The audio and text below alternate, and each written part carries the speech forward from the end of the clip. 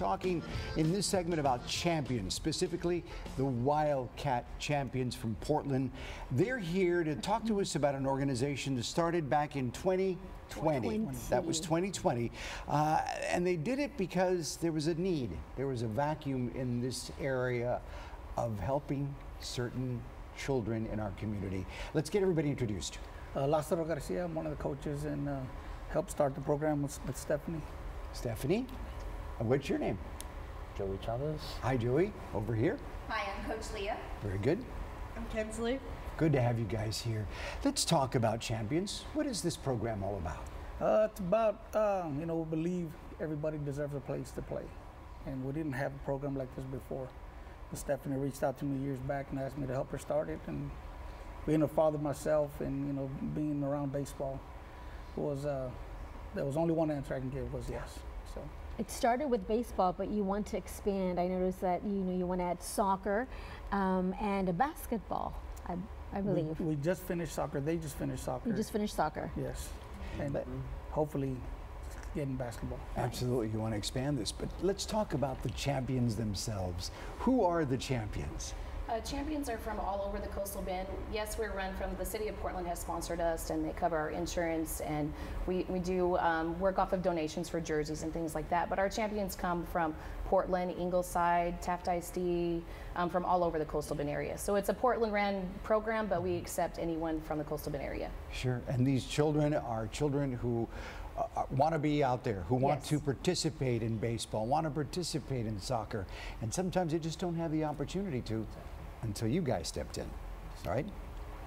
Tell us more about, about your organization. We just our mission statement is we just believe that everybody deserves a place to play. No matter if they have any any type any type of issues or, or uh, they, we just want everyone to feel welcome and everyone to come out and just enjoy the camaraderie.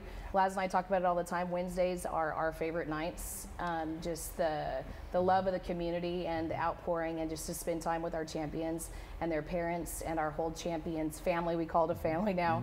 Our whole champions family. It's just a wonderful organization. I'm glad that you mentioned family. I think with every organization, family is built with uh, volunteers and the staff. Let's talk about Kinsley. I want to know more about your buddy. Tell us what a buddy is. So I get the opportunity to be a buddy, and we get to motivate, encourage, and give a helping hand when we can on the, with the buddies. And when they're on the field or on the court, we get to be right there next to them, helping them with whatever they need. Cheering them on. Yes, cheering them on. obviously, obviously. And coach, tell me about your job as a coach.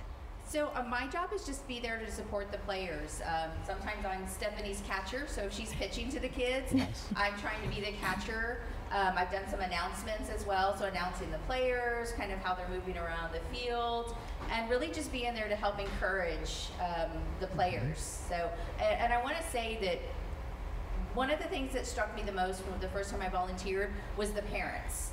This is this is an hour for these parents to sit in the stands and like a true parent, sport parent, watch their kids out on the field playing ball. And that's the greatest part of this whole thing. And you know what? It may sound simple to a lot of folks out there, but this is a major undertaking and an even bigger accomplishment for the players, for the children that are out there that want to participate.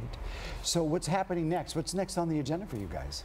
Uh, we're in the middle of, uh, we just started baseball, um, trying to get that, that season, you know, done, and then hopefully, like I said, get into basketball for these young athletes. So, what does your organization need? Do you do you need more volunteers? Do you need more coaches? Uh, well, we run our programs run on all, you know, the, it's all free to the to the parent to the families. So uh, we all hustle.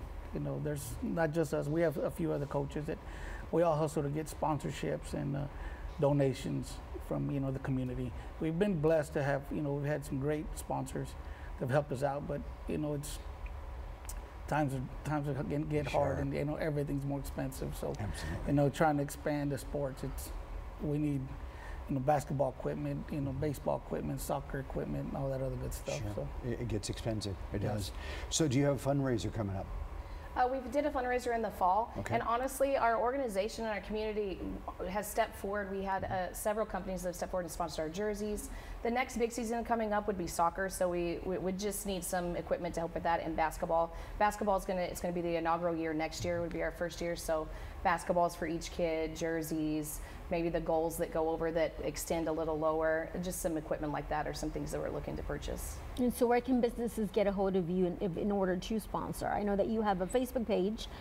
Is do you have a website? Is there a phone number? We have a uh, Facebook page, Champions. Uh, it was Champions Baseball. Now it's just Champions, and you know you can reach out to one of us or reach out to somebody on there. And we have, uh, or you can mail a check if you need, you know, to the city of Portland. They handle all our funds, so all our funds are regulated, Sure. and uh, you know it's it's going to a good cause. All So, going to a so good l- cause. let me ask you a question. If there's an organization out there, say a law firm or, or a business that wants to sponsor your T-shirts or uniforms, they can have their logo on it? Yes, Oh, sir. yes, yes. There you sir. go. There you go. Yes, sir. It's We, we have a way to market. banner. We have a banner. We put all their sponsors' names on the banners, and uh, we, Very we, good. we put that up on during the games. Very good. Once again, what's the number and how do we get a hold of you guys? You can like us on Facebook or honestly get a hold of the city of Portland and they, they'll get in touch with us. Just ask for champions information, Yes, sir. Yep. right? Well, thank you so much. You are to be Thank you. commended for what you do, uh, and to all the champions in, That's in. South Texas. Uh, thank you for doing what you do. We appreciate Yes, this so much. Thank you, and come back you. and be on Domingo Live to have you Sure. here for soccer season when it starts sir. up, right? and the next, and the next uh, types of sports as well. We'd love to promote them as well. We appreciate it. Thank you. guys. Thank Thank, you. you so Yeah. much.